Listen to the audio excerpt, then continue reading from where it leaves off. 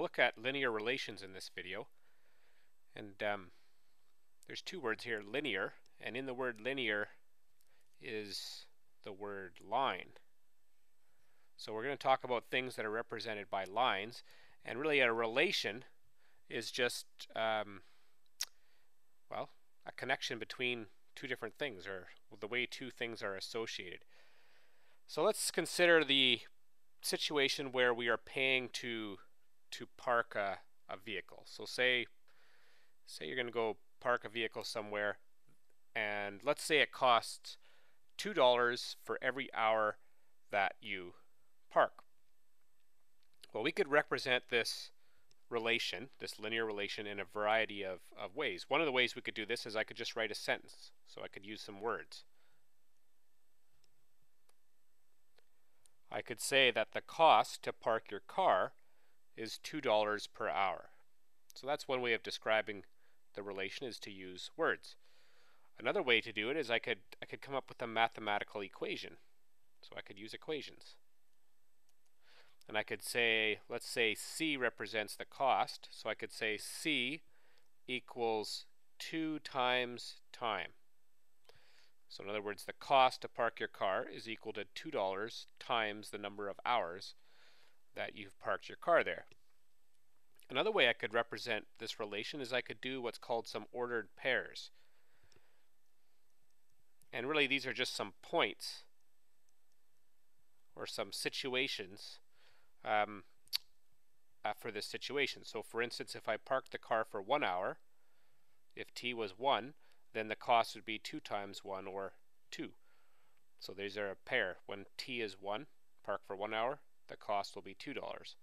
If you park for 2 hours, your cost will be 2 times 2, $4. And so on if I, I could write if I park for 6 hours, the cost will be $12. So we could do some points or some ordered pairs. I could make a table of values. And my table of values, what I would do is I do a little column here and I'd have um, the uh, sec here. I would have the time here, and I would have the cost here, and time.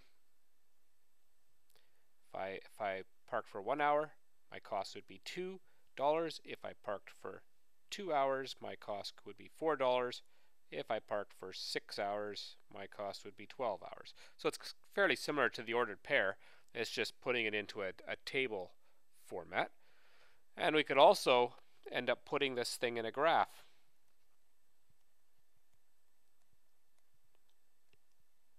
We could do a graph of this data.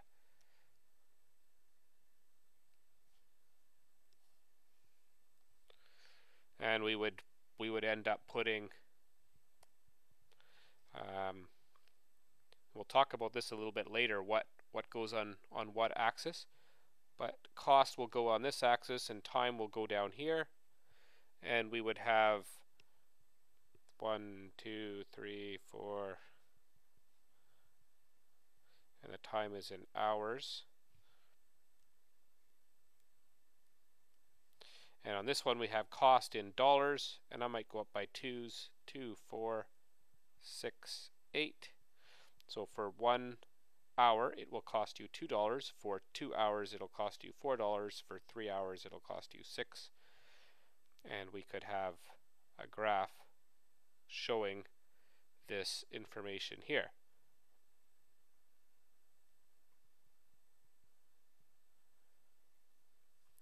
Um,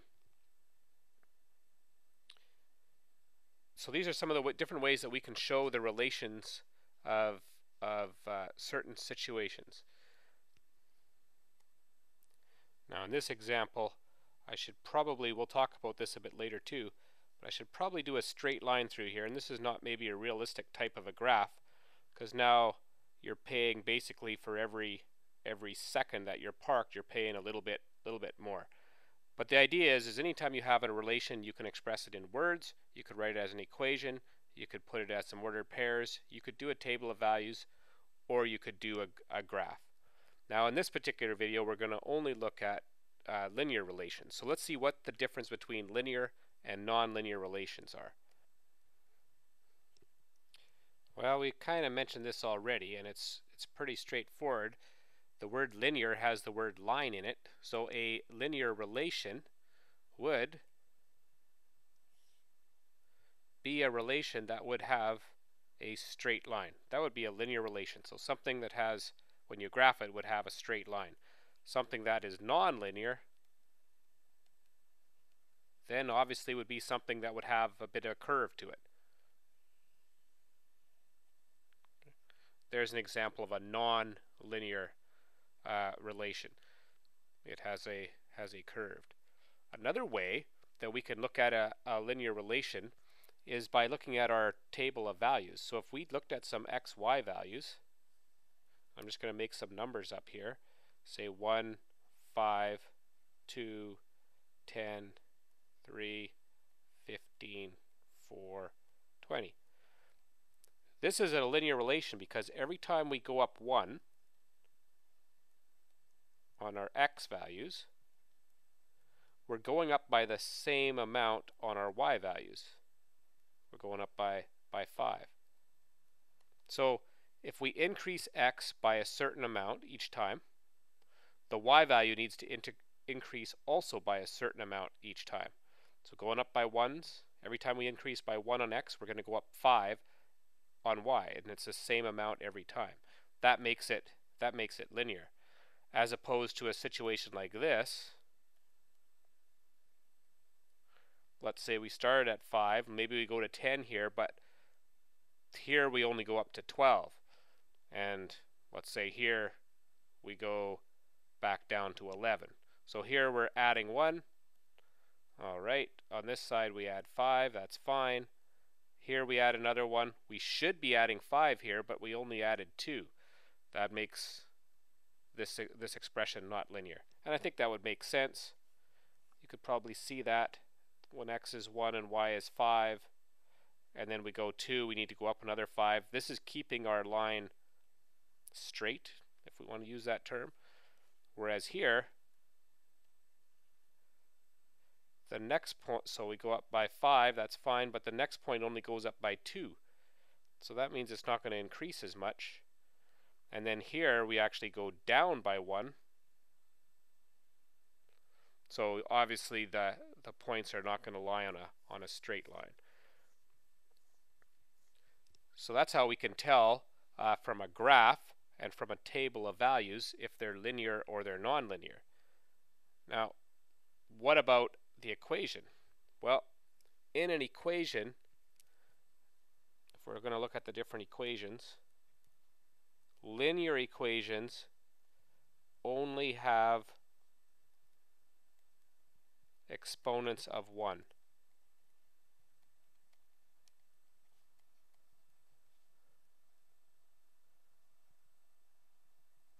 They can only have exponents of 1 on the variables. So I'll give you some examples. For instance, y equals 2x. The exponent is only 1 on the y and x. You could go 3x minus 2y equals 7. That's fine, that's linear. You could even just have y equals 3. Those are all examples of linear equations. If they're nonlinear, then they're going to have other exponents on them, such as x squared. So the exponent is not, not 1. Or we could have y squared plus x squared equals 5.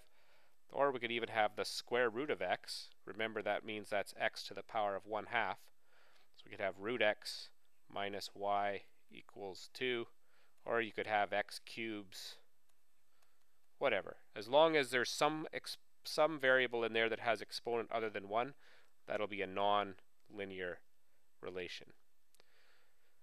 So that's how we can associate linear and nonlinear relations.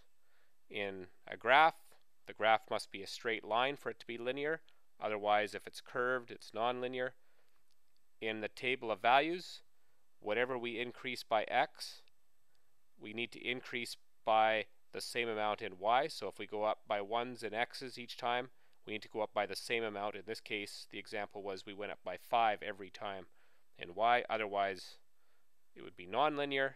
And in an equation, the exponents on the variables must be 1. Otherwise, if it's something else, then it's a nonlinear expression. Now sometimes when we're graphing data, it can be discrete or it be, can be continuous. Let me show you an example of the difference between the two. Let's start with the, some discrete data. Let's say the situation is you are selling, uh, let's say you're selling chocolates for, uh, for a fundraiser. And let's say the profit you make, we'll make a, a linear equation here, the profit that you make is $1. Well, let's do $2. Say $2, you're making, going to make a lot here. $2 times the number of chocolates that you sell. Okay, so profits $2 times the number of, of chocolates. So if we were going to draw a graph of this, so this would be um, um, your profit here, and this would be the number of chocolates sold. So we would have one, two, three, four, five, just as an example. And on this axis, let's do our profit. $2, $4, $6, $8, $10. So if you sold one chocolate bar, your profit would be 2 times 1, $2. Dot. Obviously, if you sold zero chocolates, your profit's going to be zero. Two if you sold two chocolates, your profit's going to be $4. Three, six, four, eight, five chocolates, 10. So I'd have these points on the graph. Now what's make, what makes this data discrete is I would not connect these points up because if you did this, so let's just let's just do this here. Say I did that and connected these dots to make this nice straight line. Then really what this means is I could potentially sell half a box of chocolates and it would give me one dollar or I could sell a quarter of a box of chocolates and I'd make what 50 cents but you can't you can't do that you're only selling one box or two boxes or three boxes there's nothing in between so that's why this data ends up being dis discrete. The points do not get connected because the only options you have are these whole number of values of chocolates. One, two, three, four, five, or I guess 0, and so on. So we would not connect these dots because you can't sell anything between 4 and 5. You're either selling 4 chocolates or 5 chocolates. That's discrete data. When, when you're drawing the graph, you only have individual points because it doesn't make sense to have anything in between. You can't sell 3.3 chocolates. But other other situations, they are uh, continuous, and we would connect the dots. For instance, look at this situation. Let's say we have um, the uh, the temperature. So let's say on this axis we've got um, temperature, outside temperature, say so in like degrees Celsius, and down here we have elevation. And so in, say, meters. And you know that the higher that you go up, the greater your elevation, the colder it gets. So let's say down at sea level, the temperature was up here at 20 degrees Celsius. And as we get higher, the temperature is going to get colder. So we might have a situation like this. And let's say this is zero. So let's say this is zero degrees freezing. So at zero meters, the temperature outside is 20. As you get higher, let's say you go up to 2,000 meters, the temperature might might have cooled down to say 7 degrees. But why we would connect the dots here is because elevation can be anything between 0 and 2,000 meters you could easily live at an elevation of 252.4 meters if we could have that precision. And also your temperature can vary. We can easily have decimals of, of temperature. So if it makes sense to connect the points, then that means that's going to be some continuous data. If it doesn't make sense to have the points connected because we can't have decimals or fractions of, of in this case, chocolates, then this would be discrete data. And it would end up being plotted just as a series of points on the graph. So both of these are linear data. This is lying in a straight line, but it's discrete. We only can include the points that make sense. Whereas with the continuous data, it's possible to have any elevation, and similarly, the outside temperature can be any anything between, in this case, on our graph, 0 and 20. Now there's a couple other vocab terms to know too. As you notice, in these linear relations, there's often two different variables. In this case, it was profit and number of chocolates. And one of these is the independent variable, and the other one is the dependent variable. Same thing over here. We had Celsius and elevation. Sorry, temperature and elevation, Celsius or meters. Um, two variables. And so the difference between the two uh, uh is this. The independent variable is the variable for which the values are selected. So we're going to make some selection for these for these values. And the dependent variable variable would be the variable whose values depend. That's why it's called a dependent variable. So whose values depend on on those of the independent variable. So typically when we're looking at this, here's our two variables, profit and chocolates. Profit, the amount of money that you make, is going to depend on the number of chocolates that are sold. So the number of chocolates that are sold right here, this would always be the independent variable.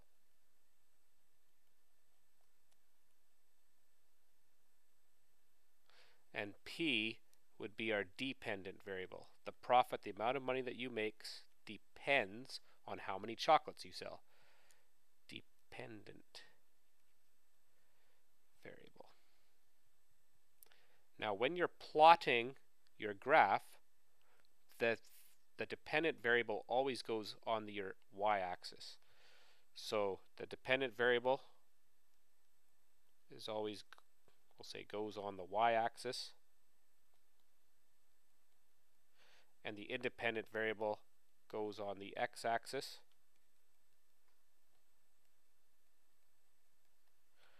And I kind of think of it like this. If you write profit here, because you always label your, your, your um, axes and number of chocolates down here, if you write the word depends on, then profit makes a sentence. Profit depends on number of chocolates. And that's one way of knowing where to put each one so you don't have to memorize it. This depends on that. The outside temperature will depend on your elevation. So the elevation would be the independent variable and the temperature, how cold it is outside, depends on how, how high you are. Now if you're doing a table of values, which we looked at as another way to represent um, the variable, it's the independent variable that goes here. And these are just standard ways of writing it. Um, so for consistency's sake, mathematicians have said we'll plot the independent variable here in the table and the dependent variable will go here.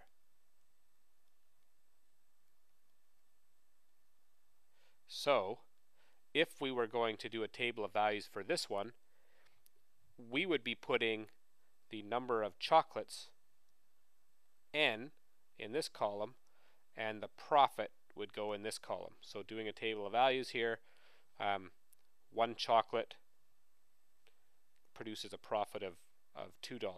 Two chocolates produces a profit of, of $4. So that's the independent and dependent difference between independent and dependent variables and these are just some of the different um, vocabulary terms and methods for for graphing uh, linear relations.